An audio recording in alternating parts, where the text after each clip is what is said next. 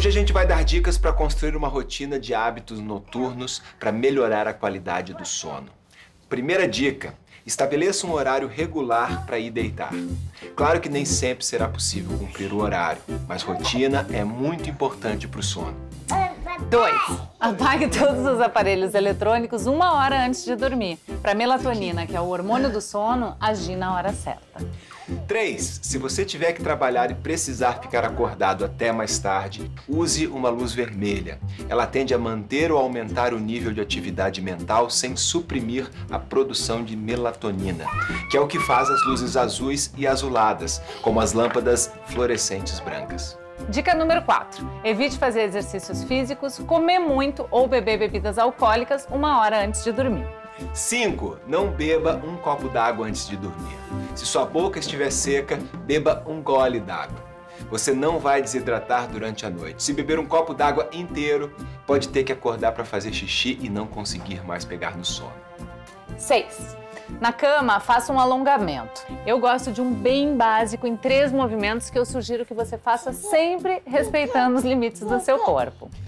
Faz aí os alongamentos, Eu quero TT. amor. Quero TT. Bom, vamos lá. Então, primeiro você deita de costas, assim como o Rodrigo tá, e abraça as duas pernas dobradas, mantendo, mantendo a coluna reta.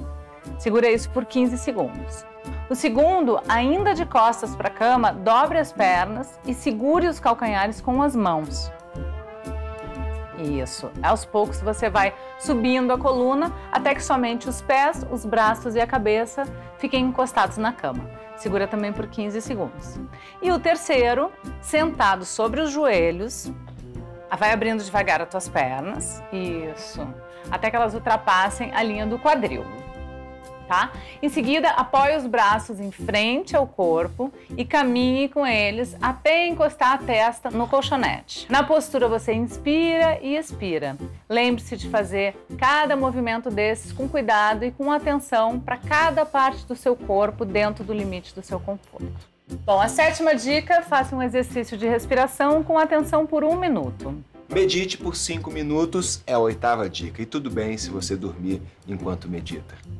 A hora do sono é a hora da entrega aos nossos desejos, medos, anseios e sonhos. É a hora da verdade e do encontro com uma pessoa maravilhosa. Você mesma. Quando eu fui mãe de gêmeos, amamentei meus filhos durante oito meses. Agora eu estou amamentando minha filhota há um ano e meio e tenho aprendido muitas coisas sobre a amamentação que eu queria compartilhar com vocês. Claro, eu aprendo na prática, mas também com as mulheres à minha volta. Uma delas é a consultora em amamentação, Cris Machado, do Plantão Materno. Bom, eu poderia falar sobre esse assunto por horas, mas eu listei aqui cinco informações e dicas práticas que mudaram minha forma de ver a amamentação. Primeira, o leite humano é espécie específico, ou seja, ele é feito especialmente para os nossos filhos e tem anticorpos que nenhum leite artificial conseguiu reproduzir até hoje. Esses anticorpos são a primeira vacina do bebê, principalmente contra doenças respiratórias e diarreias. A segunda, mamar no seio ajuda no perfeito desenvolvimento do rosto, dos dentes e da respiração do bebê. Bebês que mamam no seio costumam respirar menos pela boca, dormir melhor e ter melhor desenvolvimento cognitivo. A terceira, Cada ano de amamentação do bebê diminui entre 4 a 10% das chances da mulher desenvolver câncer de mama e de ovário. Amamentar também demanda um preparo mental, já que o recém-nascido mama a cada 3 horas e dorme. Tem bebês que mamam numa frequência muito maior e o nosso sono fica extremamente prejudicado. Eu, por exemplo, não durmo mais de 3 ou 4 horas seguidas há um ano e meio. A quinta dica: no caso de não conseguir amamentar exclusivamente, saiba que aleitamento misto ainda assim é amamentação e cada gota de leite é cheia de fatores imunes. Agora eu vou dar dicas práticas.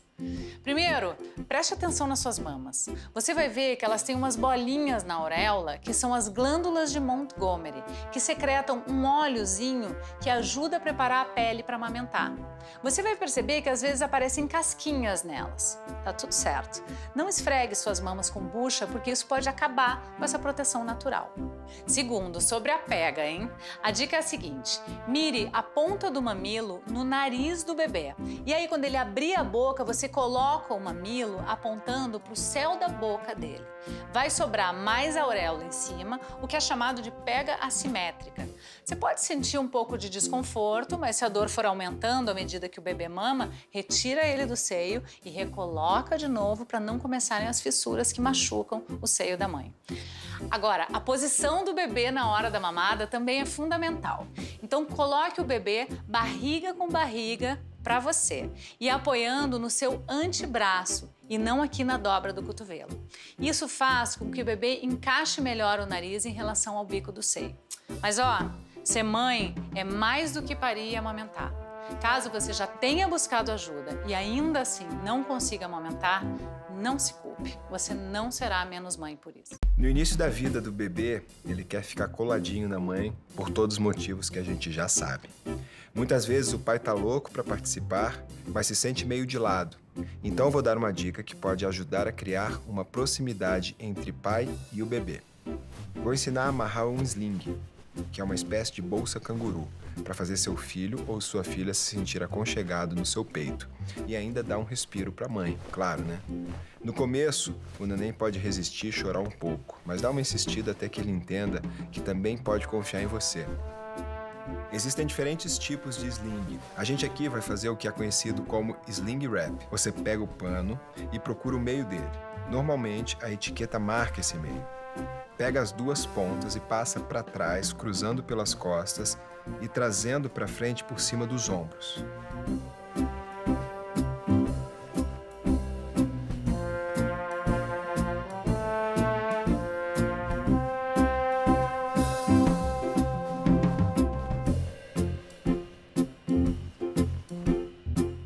Na hora de amarrar, é importante dar dois nós, porque fica bem mais seguro.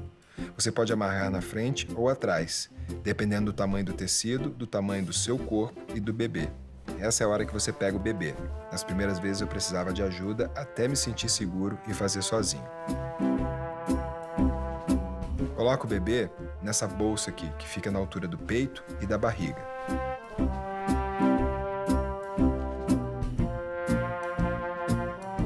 Fui entendendo com a prática, nesse momento, que a gente vai ajustando o quanto precisa apertar ou alargar.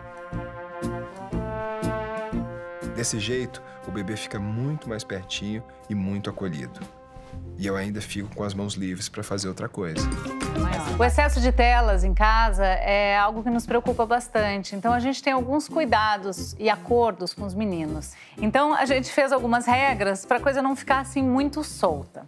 Então a primeira regra é: de madrugada eles não podem usar a internet. É um pacto entre a gente que não tem discussão. Então quando é hora de dormir, eu digo, chega por hoje e eles desligam tudo. A segunda regra, não usamos celular na mesa de jantar. Nem celular, nem televisão, nenhum tipo de eletrônico, nenhum tipo de distração. A gente foca na nossa comida e na nossa interação. Terceira regra, a gente coloca controle parental nos celulares e computadores com palavras que a gente considera inapropriadas para a idade deles. A quarta regra, limitamos o número de horas na frente da tela. Então, quando é dia de semana, que eles têm aula, é, eles podem ficar menos tempo e final de semana eu dou uma afrouxada e deixo eles jogarem um pouco mais. A quinta regra, a gente barganha atividades lúdicas, criativas intelectuais em troca de tempo de tela. Então, eles têm que é, fazer uma redação, eles têm que ler um livro, toda noite ler um trechinho de um livro, eles têm que construir algo divertido, é, dançar, praticar um esporte, tocar um instrumento, enfim, né? É, exercitar outras áreas do cérebro. E a sexta e última regra, depois de muito tempo de tela, muitas vezes acontece das crianças ficarem assim um pouco alteradas e eu sinto uma energia assim de agressividade, porque os jogos normalmente, né, aqueles jogos de, de armas e tal, então eles ficam mais agressivos. Então quando isso acontece, eu sento com eles e proponho três minutos de respiração. Às vezes eles, eles resistem um pouco, um quer fazer deitado, o outro fica sentado, mas depois que acontece, é, o Rodrigo normalmente faz junto, assim, então depois que a gente passa por esse momento, é, é nítido que a energia fica muito mais tranquila. É, bom, a gente, como pais, faz o que pode, nem sempre a gente acerta, é, mas eu acho que o mais importante é a gente ficar atento, é a gente dar limite às crianças, né? Eles pedem esse, esse contorno, eles pedem essa atenção e, principalmente, a gente abrir sempre, sempre, sempre abrir espaço para o diálogo.